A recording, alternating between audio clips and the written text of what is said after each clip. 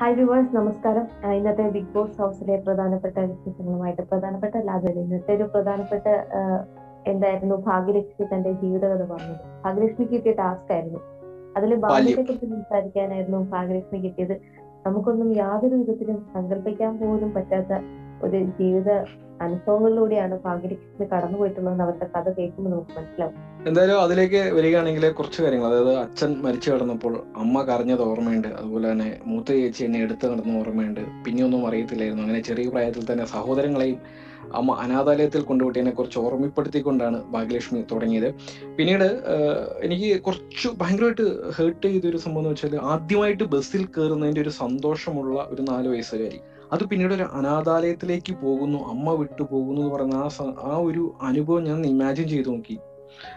സത്യം പറഞ്ഞ ഒരു ഭീകരമായ അനുഭവമായിരുന്നു. ആദ്യമായി ബസ്സിൽ കയറുന്ന ആ ഒരു കുട്ടിയിൽ നിന്നും എല്ലാം ഇട്ടെറിഞ്ഞു പോകുന്ന അനാഥാലയത്തിൽ ഒറ്റപ്പെട്ടു പോകുന്ന ഒരു കുട്ടി നമ്മുടെ സിനിമയിൽ മാത്രം കണ്ടിട്ടുള്ള ഒരു അനുഭവം ഭാഗ്യലക്ഷ്മി ശരിക്കും പറയുമ്പം ശരിക്കും ടച്ചിങ് ആയിട്ട് തന്നെ നമുക്ക് മനസ്സിൽ കൊള്ളുന്ന രീതിയിൽ തന്നെയാണ് അത് അനുഭവപ്പെട്ടത് പ്രേക്ഷകർക്ക്. അതായിരുന്നു ഇന്നത്തെ ഒരു ചെറുകാര്യത്തിൽ സന്തോഷം ബാല്യം കഠിനമായിട്ട് കടന്നുവെങ്കിലും ജീവിതം അവരോട് ഇപ്പൊ അവർ എത്തി നിൽക്കുന്ന ഒരു നില അഖിലക്ഷ്മി എന്ന് പറയുമ്പോൾ കേരളം മുഴുവൻ അറിയപ്പെടുന്ന ഒരു പ്രശസ്തിയായ ഡബിങ് ആർട്ടിസ്റ്റ് ആയിട്ട് നടിയായിട്ട് അവർ അങ്ങനെ ജീവിതം അവരോട് നിധിയാക്കി നല്ല രീതിയിൽ പോയല്ലോ എന്നുള്ള ഒരു സന്തോഷം നമുക്ക് തോന്നുന്നുണ്ട്.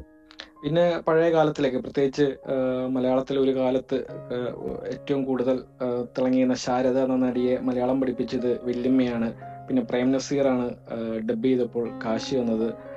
അങ്ങനെ കുറച്ച് പഴയ കാല സിനിമകളുമായിട്ട് ആ ഒരു കാലഘട്ടത്തിലേക്ക് കൂട്ടിക്കൊണ്ടു പോയും എന്ന് എടുത്തു പറയേണ്ട ഒരു കാര്യം തന്നെയാണ്. പിന്നെ അമ്മ മരിക്കുന്ന കാര്യങ്ങളൊക്കെ പറഞ്ഞപ്പോൾ കുറച്ചും കൂടെ ഫീലായി പലരും കരയുന്നുണ്ടായിരുന്നു. അത് ശ്രദ്ധിച്ചൊന്നും അറിയത്തില്ല. പലരും ഈ ഒരു കഥ കേട്ട് കരയുന്നുണ്ടായിരുന്നു. ചില സമയത്ത് ഭാഗ്യലക്ഷ്മി ആണെങ്കിലും പറയാൻ വാക്കുകൾ കിട്ടാതെ ഒന്ന് സ്റ്റക്കായി നിൽക്കുന്ന ഒരു അവസ്ഥയുണ്ടായിരുന്നു. എങ്ങനെ ഒരു എന്താ പറയാ? നല്ലൊരു ശുഭപര്യാപ്ത പര്യാപ്തമായ ആയിരുന്നു.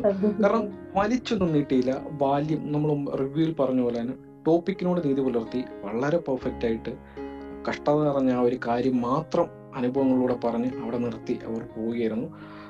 എന്തായാലും ആ ഒരു ഇതുവരെ ജീവിതകഥ പറഞ്ഞതിൽ പലരുടെയും നമുക്ക് ഒരുപാട് ഡിംബലിന്റെതാണ് കുറച്ചും കൂടെ നല്ല രീതിയിൽ ഫീൽ ചെയ്തതിന് ശേഷം എത്രത്തോളം ജെന്യൂൻ ആയിട്ട് തോന്നിയ മറ്റൊരു മണിക്കൂട്ടന് ശേഷം നമുക്ക് ഒരു ജെന്യുവൻ ആയിട്ട് തോന്നിയത് ഭാഗ്യലക്ഷ്മിയുടെ ഇതാണ്. എന്തായാലും ഭാഗ്യലക്ഷ്മിയുടെ ഉള്ള ഒരു നെഗറ്റീവ് ഇമേജ് ഇതിലൂടെ കുറെയൊക്കെ മാറിക്കിട്ടും എന്ന് നമുക്ക് പ്രതീക്ഷിക്കാം.